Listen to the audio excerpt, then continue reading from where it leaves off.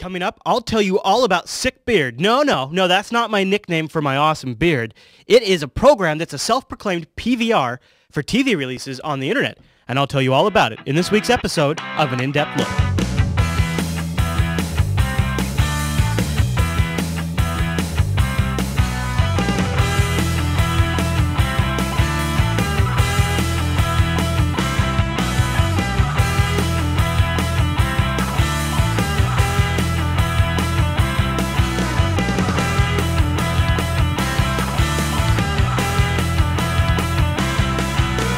Okay, what is Sickbeard really? Think of it as a PVR application for TV releases on the internet. At least that's what it considers itself. That's what they say on their website. What it really is is a server-side app that you'll install on pretty much any operating system you want, and it will monitor for TV releases on Usenet, and then it can automatically download their NZB files, or it can actually do torrents as well, and then hand it off to your download client of choice. Once you've done that, it'll wait for your download client to finish, and then it will transfer back to Sickbeard, manage the file, rename it, and organize it in the way you like, and store it in a final location. That is if you want to use it for nefarious purposes. But Sickbeard can actually be used for just good old clean organizational fun as well. If you point Sickbeard over to your file structure, it can go through and identify, say, TV episodes you might be missing from your legitimately backed up DVR copies from a TiVo or something like that. Now here's an example of, uh, of a eight season show that uh, I happen to be missing a few parts from season 7. I didn't realize my collection was incomplete and now Sickbeard has gone through, it's matched up that TV show with TVDB metadata, found the missing spots, told, tells me their episode number and their episode title, and if I want to go down the path of the dark side, it will, if you do a little configuring, search Usenet and download the files for, well, or at least download the NZBs for you. That's pretty powerful. But I was honestly ready just to let Sickbeard pass by because to me it seemed like A, overpromise, can't really do that, can't be done. B, it's an alpha, so why do I want to waste my time on an alpha? And C, it would be too much hassle to set up. But an email from a viewer named Alex made me change my mind on that and finally got my button gear. So Alex wrote in and he said, Yo, Chris, have you heard of Sickbeard? I don't quite get it, but it sounds like it could be really handy. Oh, and do you know if it runs on Windows? Well, Alex, it does in fact run on Windows, and for this demonstration, I set it up on a Windows box. Now, what Sickbeard really is, the way the way they get away with calling themselves a PVR for the internet is it's a smart, intelligent server-side application that monitors for new releases of TV shows and then downloads the ones you have predefined to automatically download. And I guess I should I shouldn't get ahead of myself. I should be careful. Sickbeard itself doesn't actually do the downloading of the TV episode. Sickbeard monitors for releases and figures out when they come out. And here I'll show you, here's an example of my screen. I just set this up just for demonstration purposes. I wouldn't actually download these TV episodes. But you see here I have The Daily Show with Jon Stewart selected. And it's identified when the next release is out. And it also will tell me how complete my collection is of The Daily Show, which is kind of neat. And it also tells me if it's an active series or if it's a discontinued series, like uh, a couple of the ones I have here at the bottom. And what will what what Sickbeard's responsibility is in this scenario is it will download the information file that my download client of choice needs to kick off the download. So Sickbeard's kind of just a, a middleman, right? It hooks it hooks you it hooks your download client up automatically with the file, and the download client does the download, and then Sickbeard sits back sits back sits back and says, "Oh, looks like that file's done now. I'll just go grab that."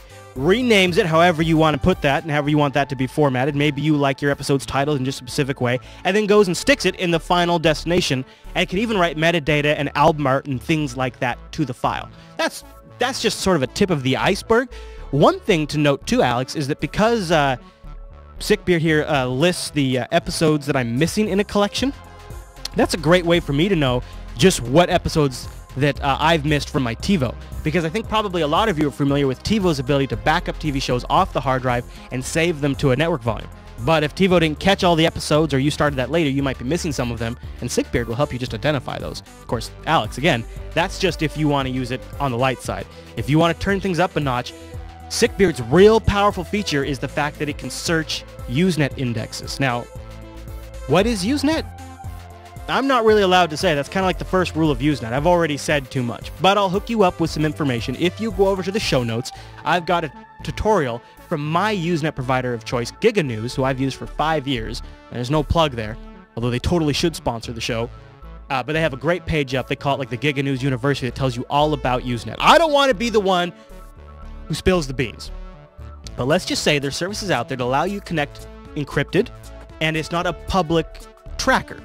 Problem with some of these torrents out there is they're public and people can find out who's connected and downloading what. Whereas Usenet is just a direct client to server relationship and that entire transmission can be encrypted, so it's a little safer. I'll just leave it at that because Usenet is just a great thing for all kinds of different uses, not just piracy. Sickbeard's main advantage is that it can take advantage of Usenet searches and indexes and then pull things off of Usenet really fast, and that's extremely powerful. I would say though, if you want to set it up on Windows, you would be blown away with how easy it is to configure. Let me show you just really quickly how simple it is under Windows to get Sickbeard up and running. Now to be fair, Sickbeard's pretty straightforward to set up on Mac or Linux. I'll include some tutorials in the show notes. Under Windows, I don't even need to include a link. It's ridiculously easy. You download the binary off the Sickbeard website, store anywhere on your system that you want to have Sickbeard installed at. There's no actual installer. You just unzip the folder. Uh, so for in my case here, I'm doing this on a Windows home server that I, I beat around for specific tasks just like this. It's kind of like my dumping ground. And once you download Sickbeard, you just run the executable. Sickbeard.exe. In fact, I would even add that to your startup group or something like that because once you're done, Sickbeard's up and running. At the first time it launches, it'll open up your web browser to the Sickbeard web page. Uh, that's what I was showing you a little bit earlier. This web page here uh, will only come up once. So bookmark it if you don't if you don't know your own IP address and the port number it came up on. Just save yourself the hassle, don't lose it, and bookmark it. Once that's done, you just have to plug in the basic information and it'll start going out indexing and downloading right away. It can even manage your back catalog and download all of those ones. Again, there's some morally questionable things you're doing there, but it is a pretty impressive um, utility. And it's open source. It's free, which is really incredible.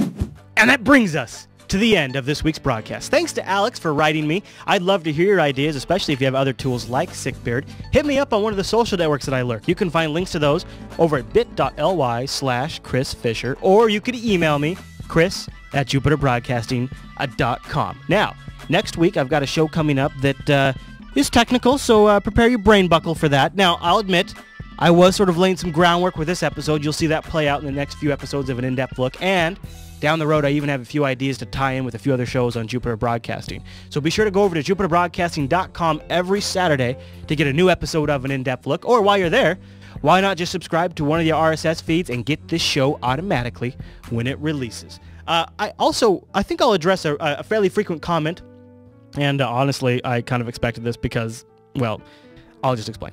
A lot of you have said, Chris, I don't get why you call it an in-depth look if it's only about 8, 10 minutes an episode. I don't actually have a fixed time for the in-depth look episodes.